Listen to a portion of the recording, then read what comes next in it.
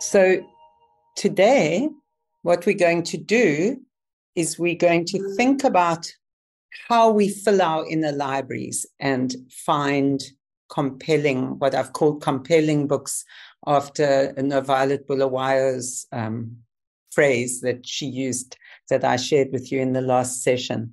And I, I don't know if you can see here, but I love this um, photograph because it's a bit like some of you might know of the books which are called Where's Wally? But if you look very closely here at this um, photograph, you can see there's something that doesn't quite belong in there. Uh, if any of you can spot who's the odd one out, then put it in the chat. And um, that's why I put that there because sometimes it feels like looking for books that tempt one that are great books, especially in um, settings where there, we don't have that many resources, is like finding the um, the odd one out, if you like. Um, so, anyone see who's who's in there? Shall I shall I show you? There's a little a little bird uh, in the middle there. So, before we carry on with today, we start something new. Let's just recap. I talked last week particularly about the way that play and story work together and how um, our brains um, use play to learn. And so, play is one of those crucial ingredients for young children. And when they're um, when they're beginning to learn anything, and particularly learning to read, because play and story have this powerful link. Um, and also, um, that along with that, then goes um, imagination, which sometimes we tend to see imagination as an optional extra. Um, and it's like, oh, go use your imagination when you go and play, go play after you've done your work. But actually, imagination is part of work. And I'm going to actually find some nice um, bits to read for those of you who are interested and share on the WhatsApp um, more about imagination, because I do think it's crucial and it isn't, uh, it's often it isn't that well uh, looked after. So, linked to all of that is the fact that we have to be motivated and compelling or compelling stories or great stories or however we want to describe the stories um, that speak to us. Those are the ones that we connect to emotionally. And so we need to be finding them because we are our children's role models. They will um, watch very closely, even when we don't know they're watching, they're observing us. And they're almost as if by osmosis through the air, they breathe in the way that we do things culturally and socially. And reading and writing are social and cultural practices. So we have to be the ro- role models. We have to also remember, and I mentioned it last week, I'll also share more about this for those of you who are interested, is that the concepts of print, the early learning that happens when a child is becoming a reader, um, they are taught and learned often informally on the laps of adults or with other family members or friends. They are, though, being taught and they are being learned. And we sometimes um, do not notice that. So today, though, it's the thing of how do we equip ourselves? How do we grow our inner library? And I went on a hunt looking for things and I found these wonderful proverbs and also, I thought that as we're talking about nurturing ourselves to become the role models, that we needed the rain rather than the fire, and um, found these proverbs from Africa a little rain each day will fill the rivers to overflowing. And I love that. Just a little rain each day. And then you get the great big overflowing rivers. And then along with that, we have to think about which books to nurture, if we think about the books as the little bit of rain, um, we also know that, and this is another proverb, that mothers are really important mothers, fathers, caregivers. The good mother knows what her children will eat. Okay, will eat. And that implies, this Ghanaian proverb implies that the mother knows her children. And um, that is something, again, in my understanding of how children learn, um, we need to be very careful observers, curious observers of our children. And we will find out, and we did it in the first session, that caring, caring, emotional relationship, though that is the most important thing in terms of getting to know people. And so, um, so let's look how do we nurture children with books? Where do we find the books that we eventually choose to use? Do we have the luxury of choosing, or do we just use whatever comes our way? I want to start with this book called Eco Girl by um, Ken Wilson Max. He's a Zimbabwean writer. Um, he lives, I think, partly in Zimbabwe, but also in the UK. Um, I put up this um, slide for you to show you. sorry, that this is actually a book that is available at the moment in South Africa. It costs 130 rand, which is a lot for for for many people. However, if one can know what books are available, one can find ways of ordering them, of getting them. I've got a very squeaky chair today. I hope it's not disturbing you. um, so, Eco Girl, Ken Wilson Max, it's available as you see there in Afrikaans, English, isiXhosa, and isiZulu. And if there was a demand, Jacana Publishers, who published this book, would make it available in other languages. So, first thing I would do when I'm looking at a book is I I look at and we all do, I know, look at the cover and we think, hmm, eco girl, eco girl. I wonder what that means. I wonder what why it's eco girl.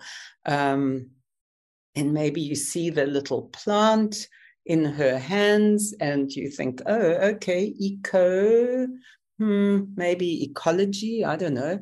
Um, and and one could look at this. I know that covers are often talked about by teachers that they should be looking at the covers with the children? I think yes, but not to the extent that the children start nodding off or, or disappear. Um, I'm going to read some of this book to you. I don't know if I'll get through the whole thing. Now, can you see it? Is the question. Yes. Eco Girl by Ken Wilson Max. So, so beautiful, bold um, colors and um, seems like he's painted his um, visuals for this book.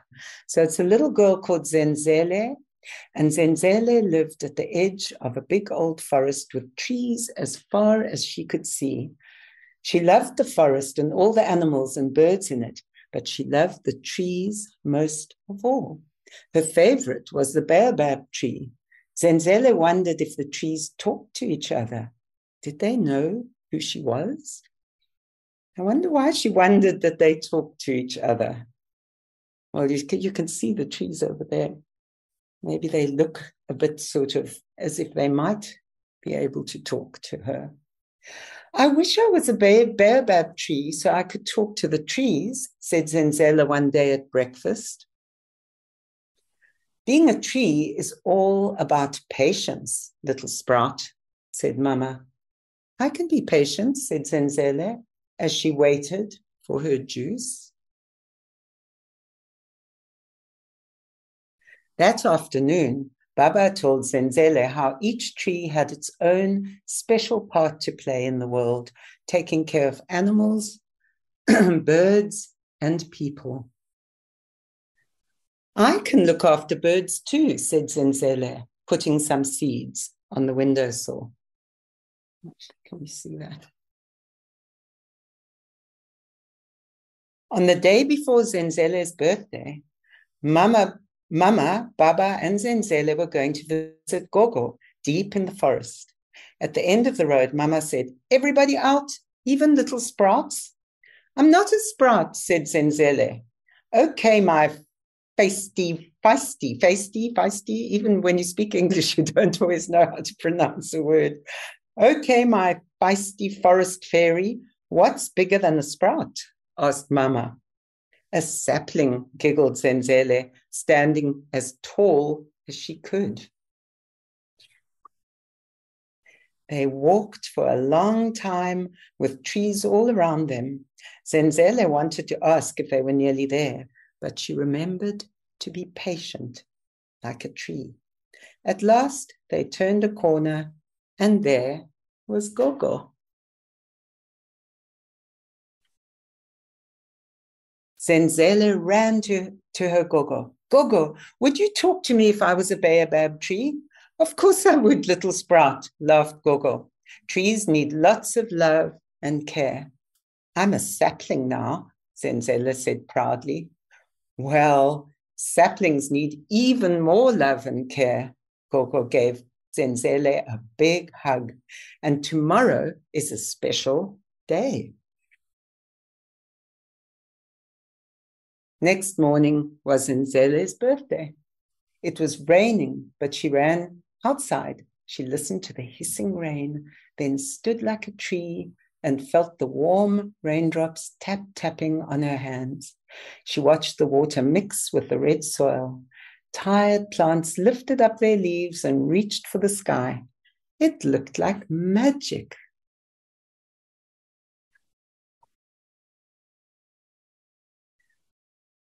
When the rain stopped, Gogo came out. She was holding something wrapped in bark. What's that? asked Zenzele, trying to see inside. Shall we go and find out? said Gogo with a cheeky grin, and they all followed Gogo into the forest.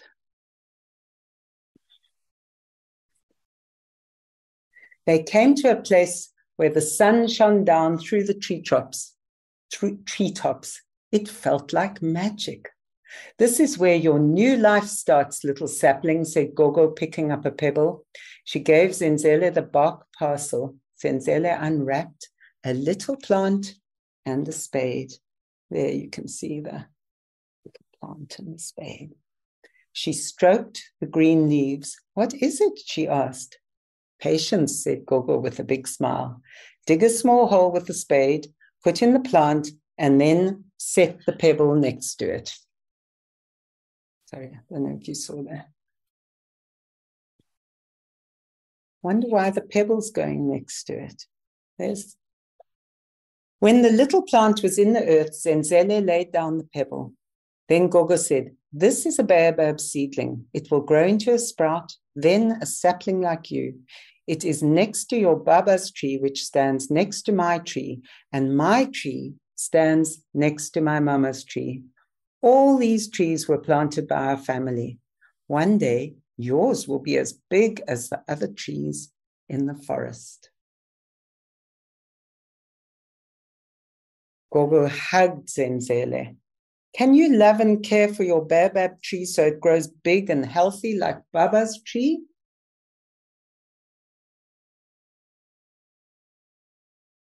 Zenzele felt very proud. She stood next to her little baobab tree and called out, Yes, I can.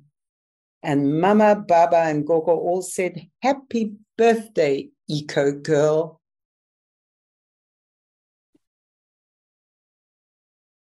And then at the back, that's the end of the story, there's a bit that says, What can you find out about trees? So that's that's Eco Girl, and I read through it. Um, I would say, having read it two or three times to myself. Now you you might have seen that I actually didn't read it all that well. Um, I I didn't practice it enough to be, I would say, fluent, so that um, so that I let all the sentences flow as I think they should have flown. And that's actually one of the one of the big lessons about reading aloud is that one really needs to be able to one needs to know the story so that you're able to predict yourself what's coming next and um, i mean i did that purposefully now because it's a new book for me and i thought i'd just show you what it what it feels like when you're actually not that um, you're not that fluent with the book but at the same time um,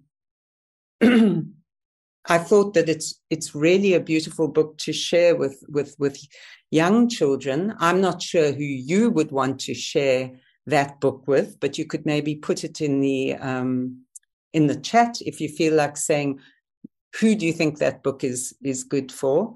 Um, there's some vocabulary there. I just picked out two things here on the same page as okay, my feisty forest fairy. When it'll be interesting for um, African language speakers to see how that is translated into um, isiXhosa or isiZulu. I think it says that this book's available in because that's a particularly English um, phrase. But so th- there's often a question with with with books for young children is what happens when the vocabulary is new or difficult. So maybe a child doesn't know what a sprout is, maybe they don't know what a sapling is. Um, one of the things I, I would just say as a principle is that we need to raise children's um, children's uh, vocabulary. Uh, we need to raise it. We need to raise it in the sense that we're trying to grow vocabulary. I should have said not raise. And so, in that sense, we we don't need to be afraid of vocabulary that seems difficult. So even the feisty forest fairy, good for me to say, oh, I don't know how to pronounce that. Um, one could go and look online if you could. And actually, it doesn't really matter too much as long as you know what it means. And the more or less that children often know, they know more or less what something means. And gradually over time, they get to know the, the, the bigger meaning.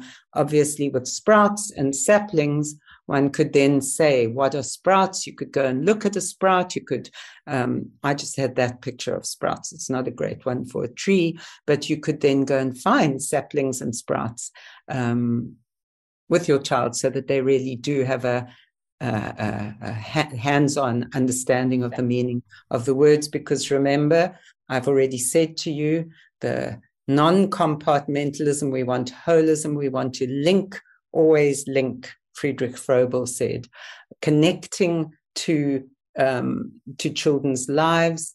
Um, so, what trees are around them? We can find out about the trees in this book, in Eco Girl. And then, for me, now being the searcher of, uh, of good books, I looked at that and I thought, oh, yeah, I read that you can see here Wangari Maathai, um, who planted all those trees in Kenya um, I went looking and I then found actually, I had these. I found these other two books, which are about Wangari. Um, the one's called Wangari's Tree of Peace, and the other one's more of a, a, a sort of a nonfiction book about her life. They both are about her life. And they link beautifully to Eco Girl. And so you can sort of go down the pathway um, gaining new knowledge as you go along with the children. And I am going to um, share on the on the link this this story, which is the uh, the one called Wangari's Tree of Peace, because I found it online and it's it's freely available. So I, I'll share it with you, those of you who interested. So the whole thing is curiosity, information, knowledge. We can find out about baobab trees, these great trees of Africa. Um, we can, uh, you know, just by Googling. And so when you start with one story, you really can go um, much further than the story itself. Now, I was just thinking um, for people, you know, how do I how do I read this story? Because sometimes you don't have a, a book particularly for a baby or for a toddler or you know or for the age group.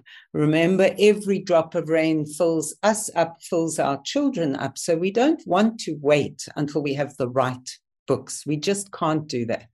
So if i i actually think this is a lovely book that i would share with a baby. And in fact um, i would share many books with babies because babies just love the sound of the mother's voice.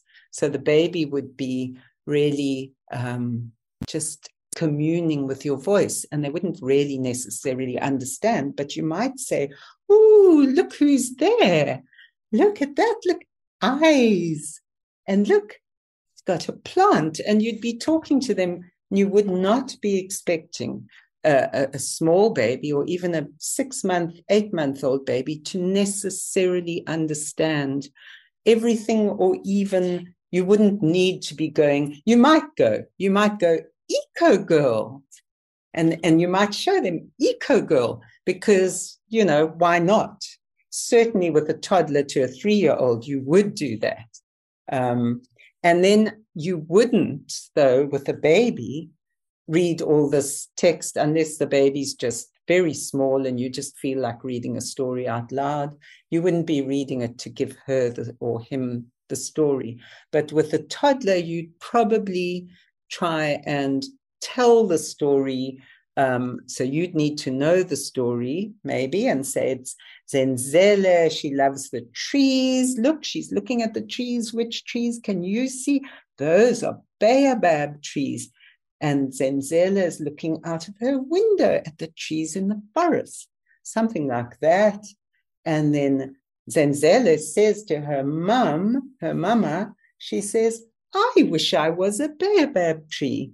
And then you could say, huh, isn't that funny? Can a person be a tree? I mean, you could say that just to get a bit of humor in, because children all of us love humor actually, and particularly little then the four and five year olds and the three and four year olds love to imagine that you were a tree. Next thing you'd have your child pretending to be a tree on the floor. Um, and then um, the sprout thing you could talk about with the with the children. You could, if it was a baby, say, "Oh, look, yummy bananas," and I wonder what that is. An avocado pear, maybe little girl's having her juice, Zenzele is going to drink her juice. Do you want your juice? Do you want your banana? You try and connect the child to it um, as you go along. And then, oh, look, little bird. What does the bird say? Tweet, tweet, tweet, says the bird. And there's Zenzele's daddy. And she's giving seeds to the bird. She's giving the bird seeds to eat. And um, what do you want to eat? When you're hungry? Do you eat bird seeds? No, we don't eat birds, but maybe we eat sunflower seeds.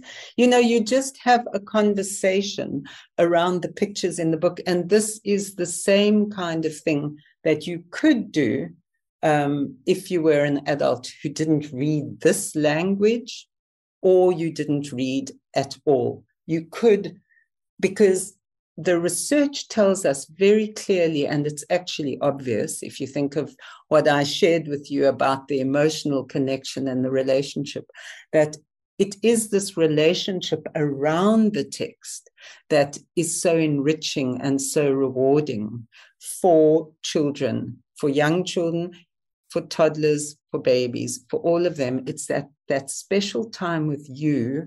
And what the book does for the adult is it gives you um, a, a topic almost. It gives you, it, it's a text that guides you or that um, somebody, I can't remember who it is, talked about texts that teach.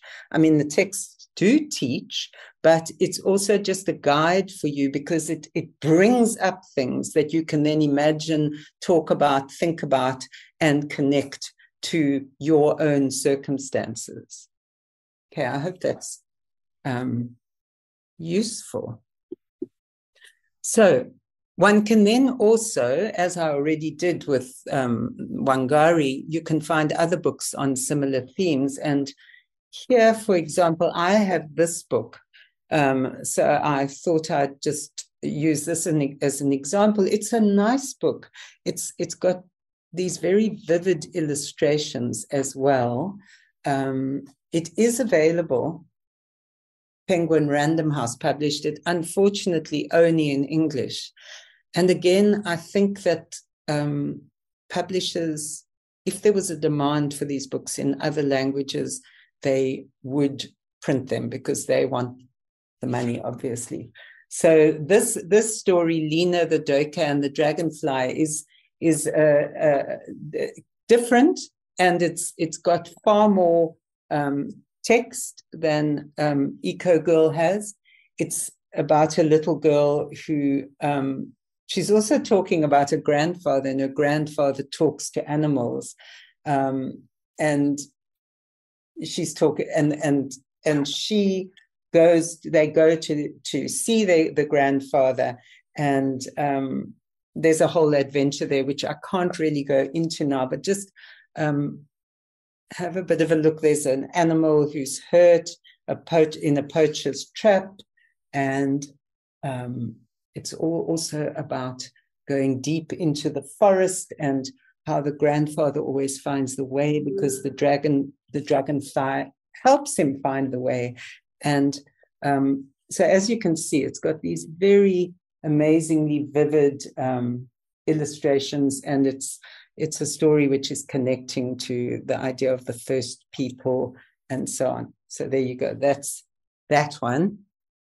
Um, if it were me reading that, that wouldn't be a book that I would read to children who are not used to being read to, um, unless they're older. Young children who are not used to being read to can't cope with a lot of text. Um, they have to, it, it kind of grows on them, that focus and that concentration grows on them um, with time and with experiencing lots of books. So there we go. So um, today I want to share with you some of the sources that I've found. You know, where do we find books, especially if we're in South Africa or other African settings? Now we do have online, and we'll look at some of the online resources.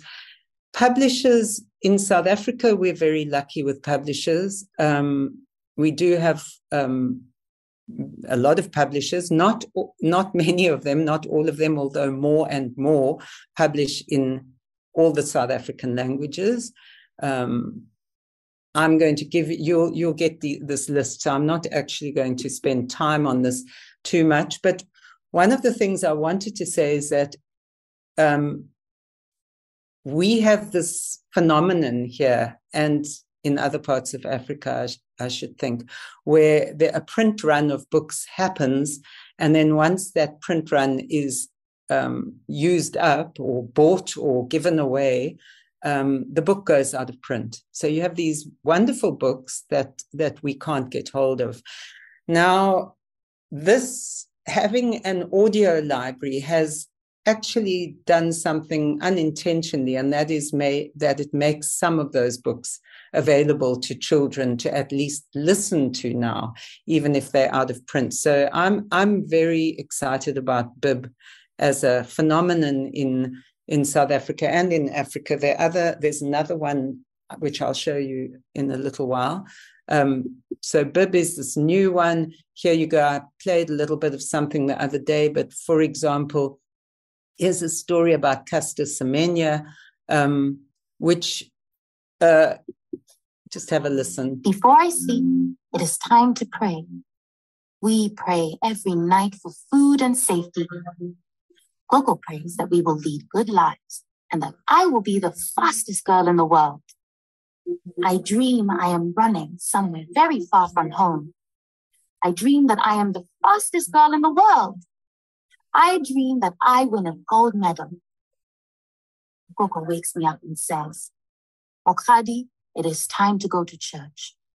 Yeah, so so that's this book is available. So you can get this book. I think it's also published by Jacana. It's a it, it is available, but the added dimension of being able to listen to it is wonderful. Um, at the moment, I think you get you you it's FNB and you get, is it eBucks or something? And one can get books like that. They are working out a way to make more free books available, especially for, for children. So I'm, I'm, I'm not involved with them, but I'm hoping and pushing that I, whenever I speak to anyone, I try and say, do that. Yes, do that. Make these books free. Sorry. So, and here, another example so the magic fish, I'm not sure if the magic fish is in or out of print at the moment, but it is available online. And that is rather empa lovely. ngwaneso So wait, wait, wait, wait, wait, wait, wait. Let me not do that. Let me first. I just wanted you to be able to read and listen. I've only got The fisherman was not happy, but he went to the seashore. When he got there, the water looked muddy and brown. He stood at the water's edge and said, O princess of the sea, listen to me. My younger brother has sent me to beg a favor of you. Then the silverfish appeared and asked, What does your brother want? He says that when I caught you, I should have asked you for something, said the fisherman. He does not like living in a grass hut. He wants a house made of bricks. said the fish. He is in the house already. Okay. jwang? Go rialo motshwasi wa ditlhapi. Ga ke kgolwe gore tlhapi ya mehlolo e ka kgona go etsa morena. Tsamaya wena o tlhoyo o lekile. Ke tla ba morena. E dule ntlong e kgologadi ya masakagadi ya mangata. Go rialo monyane wa hae. Motshwasi wa ditlhapi o ile a leba lewatleng. Lekgetlong lena lewatle le ne le hlwentse le le leputswa Okay. So this in I I think I'm not sure exactly how many languages, but I think in at least five. Um, these not only this book, a lot of books are available at the same time as these books might not be in print. So we want them in print, but we also want children to grow these stories in their heads. So this is um, this is a good addition. Um, and then, you know, how do I grow my inner library? I go on researches. That's what I did to get, you know, what I've shown you this far done. I get very involved in looking for things. So if you have access to the internet, um, you can have lots of fun getting to know books um, that way. There's this site called Sur la Lune Fa- Fairy Tale. So this is not um, not South African or not African, but it's got all these fairy tales. And I was just going to share with you that sometimes one actually runs into the sand when one's trying to find something, because I got very excited finding an African, um, another African version of this story, um, which is called One Turn the Shapeless Thing. And then, and it's from Cameroon, but then I discovered that it's you can't get hold of it. It's it's not allowed because of um, you know copyright issues. So sometimes you can't get what you want, but you find other things along the way. So what have we got in Africa? Um, and this is actually on the continent and also by others off the continent up north uh, about Africa there's this amazing site which I found called Akoo Books, um, and it's a listening library as well. And I think they link to um, African American um, organizations or university, or I'm not exactly sure what, but there's a there's a connection, and it's it's um, a way of getting audiobooks from other parts of Africa as well. Unfortunately, all of this, most of this, you have to pay for when you finally get to getting the book. But I often search for what I can find that one can download, and that is free. Um, even if you can't get hold of a particular book, it is good to know to, to build your inner library by getting to know what is out there in South Africa and and further afield. Um, Munakalati is a great organization which is promoting reading for children across Africa. I think they're based in Ghana and Cameroon. You, um, there's the Sub Saharan publishers. What's the time? Goodness, time is flying today. I'm not going to finish today's session today. I'll have to do it next time. Um, Sub-Saharan Publishers is a very well-established Ghanaian publisher, and they, they, um, one of their great authors that they publish is Meshack Asare, who some of you will know of, I'm sure. and Meshack, Meshack Asare is um, he he has written a lot, and his books are very um, highly thought of. His children's books, um, and I, will share something about him on on on the WhatsApp group if you like. I have sorry this collection of his books, and that you can get them from sub-Saharan publishers. You might be able to get one or two of them in South Africa.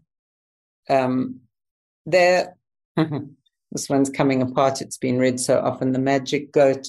Um, anyway, I've shown you that there. I'll just read a tiny bit of Cat in Search of a Friend to you, just to get a sense of this. This one is one that one could read to young children very easily. I think some of his books are are quite um, have got a lot of text, more text, and then again you need children who have listening stamina, which is another good reason for having an audio library because you develop that listening stamina.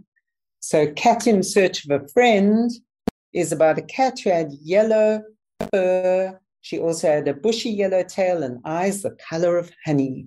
One thing she didn't have, however, was a friend with whom she could stay and who would protect her, and that made her sad. One day, she went to the little monkeys and asked them, Do you want to be my friends?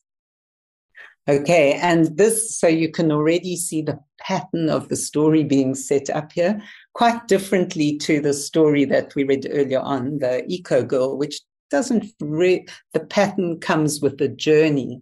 This already, um, if you know children's books, when she says, Will you be my friends?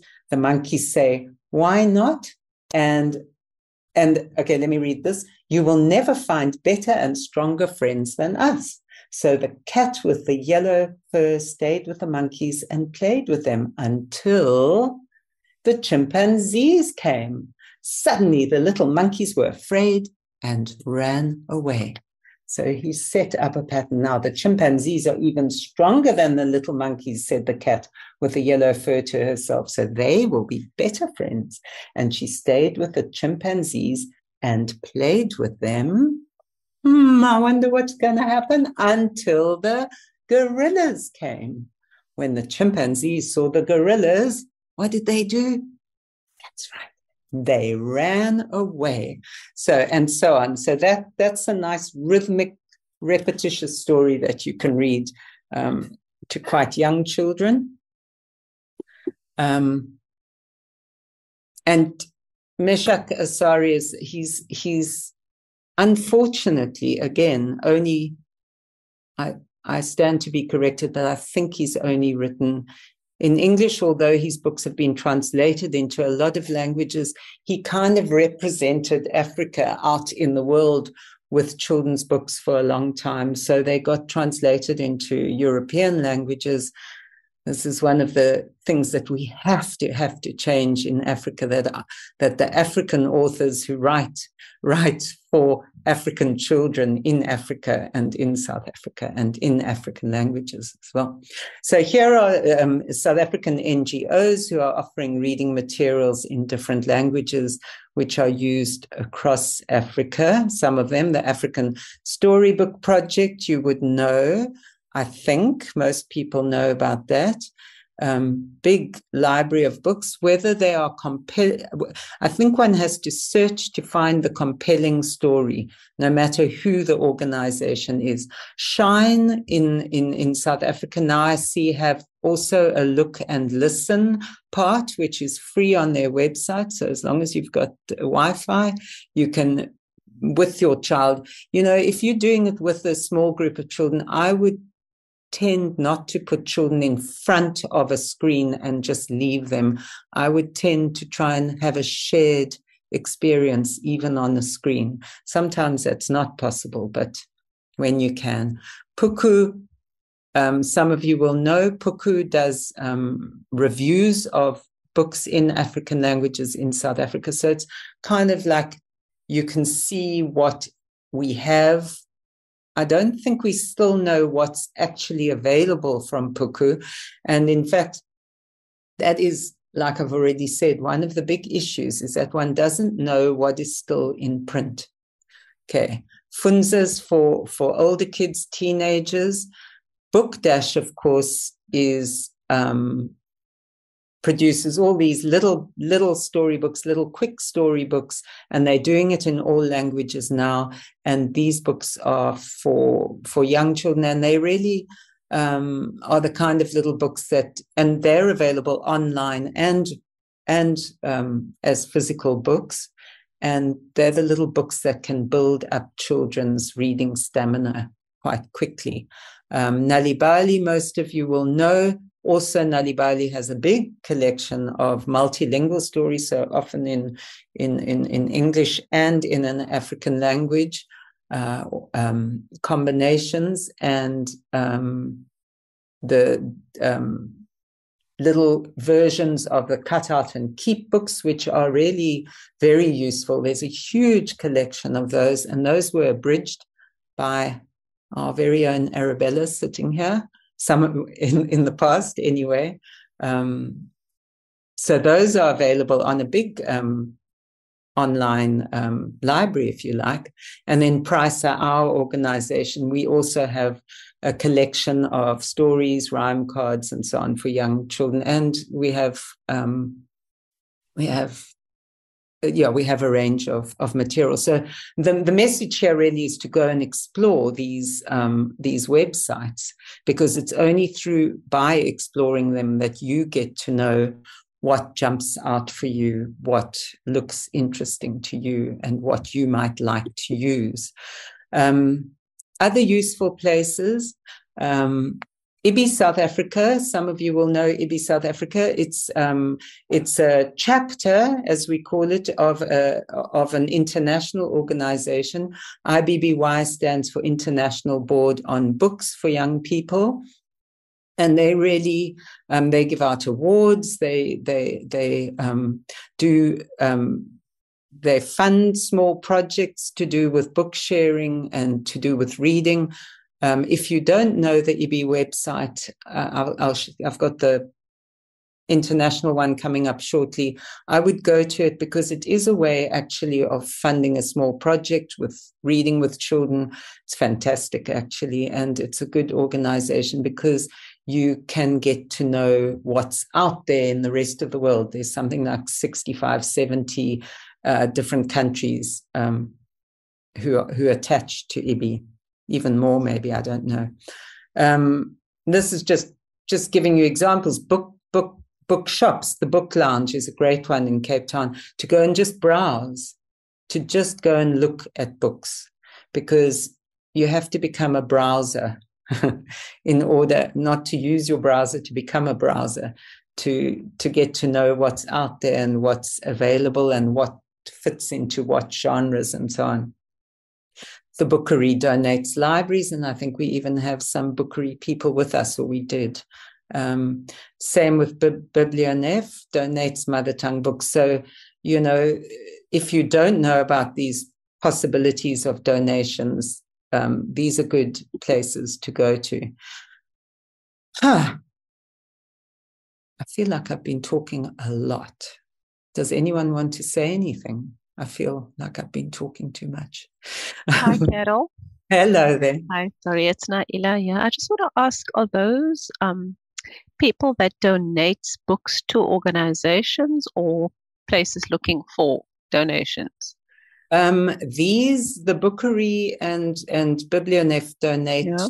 to. Um, it could be it, they donate to to organizations and I stand to be corrected. I think mm-hmm. um, reading clubs as well, okay. people who are reading with children. Yeah. Oh, perfect. Mm-hmm. Okay, thank you so much. Okay. Um, you know, on my search um, for this session, I just came across all these amazing stories that I thought I'd share with you quickly, um, which are really to me I've always loved folk tales and fairy tales. So so I'm sharing what I love with you. Um, they they may not strike you as they struck me, but I find it absolutely fascinating how there are stories, there are versions of stories around the world that um, have the idiom and the metaphor of the of the culture where they come from or they originate, but they're basically telling stories of great human themes. Um, and, and, and Cinderella, which we all know, and sometimes one feels desperate that children seem to only know Cinderella, Three Little Pigs, uh, the Three Bears, and so on in an African country which is so rich in its own um, stories there are African Cinderella stories. And I don't even like talking about Cinderella stories because really these stories could have originated elsewhere and become Cinderella's. Uh, so, so Chinye and Natiki and Mufaro are all kind of um, on the same themes that Cinderella are. And you might like to just go and listen to Chinye or you can watch it. It's a lovely um, visual storytelling of Chinye. Um, it's it's done by the Story Museum, which is a, a, story museum in in Oxford in the UK. I think we must use resources when they're available and bring them into our own space and make them our own in our own way. So I'm not, I'm eclectic. I don't only want to find things that are, that start off here. In fact, they took Chinye and, and are telling it there. So we've got to get it back here, you know, that's how I see it. And I found this um, great website which got 365 Cinderella versions. Um, and I'll share one on, on the on the WhatsApp group. Um, Natiki is the Namibian story, and there's also a visual Tales of the Motherland there. You can watch it, um, which I found. But then in our very own Madiba Magic, where is it? Um, there is the Natiki story. Um, I was going to read you a bit of it, but I'm not sure that I should at this point. Arabella, can you guide me? Should I should I be coming to a close?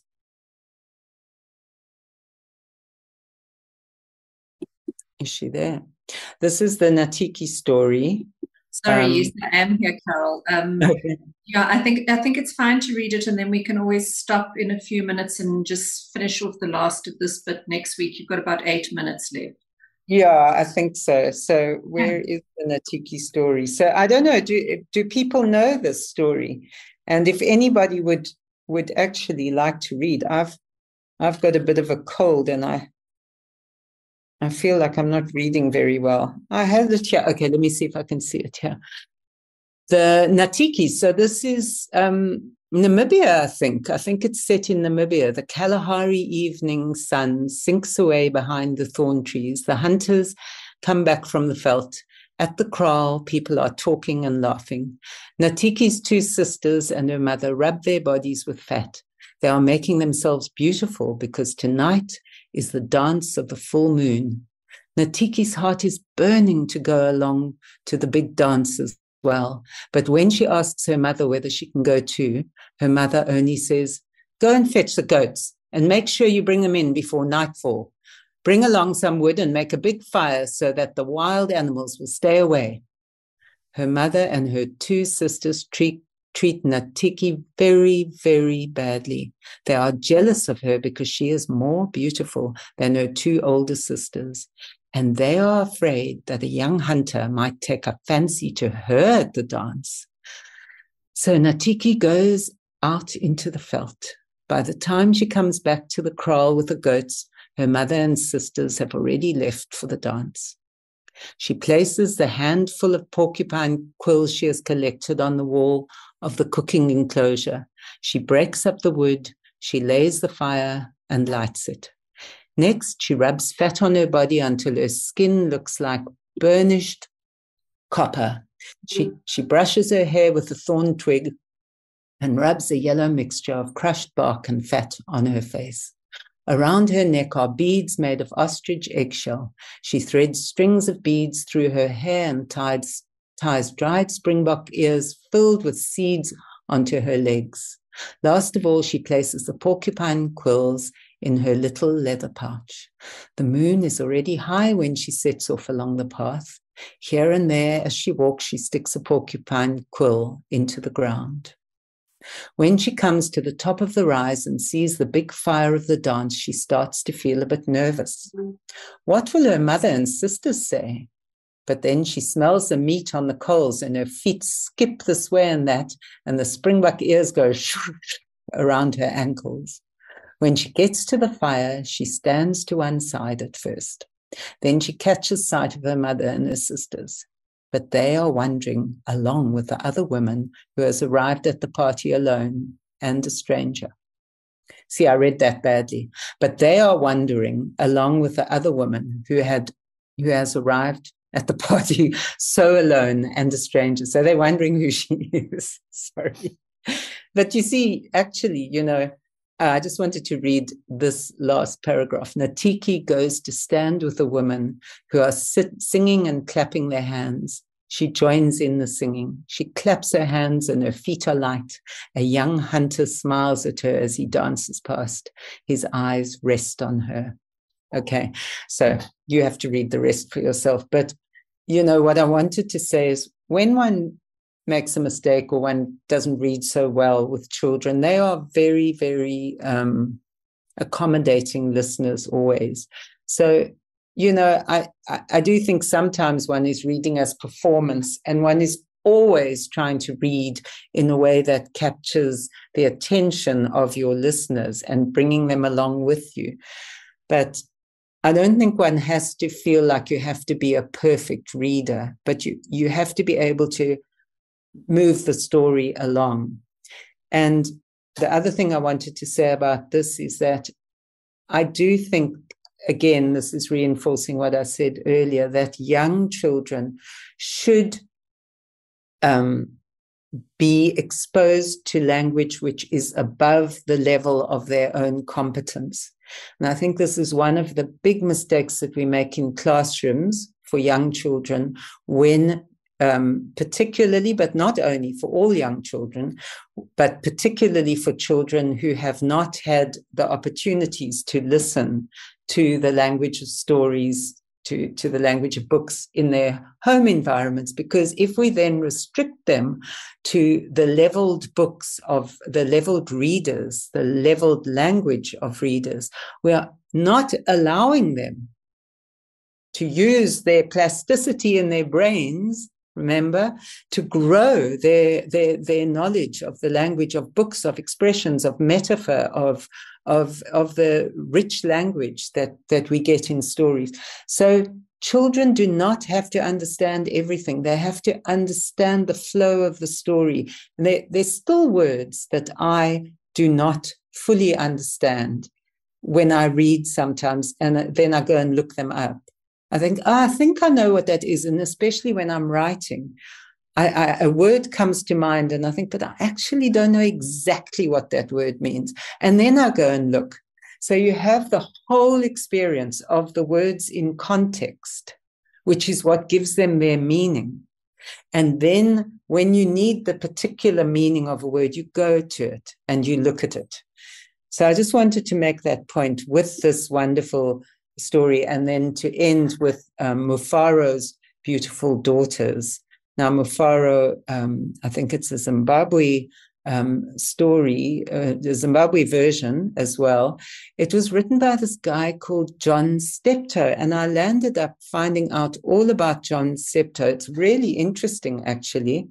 Um, you can go online and have a reading of it by somebody, I'm not sure who. Um, and also it's back into that Sur la Lune fairy tales. But here we can't read it, but uh, here are some of the images from this book. John Steptoe was one of the first, if not the first, um, African American um, writers. He was very young. He wrote this book and others, and he illustrated for African American children in at the time because he wanted them to re to connect with their African heritage. And I mean, this is a book that I think was available here. It was written in the 1980s. I think it's very beautiful. And it does it I think it is available somewhere in the world, but not in South Africa. So I'm sorry about that. But if you hunt online, you might find it.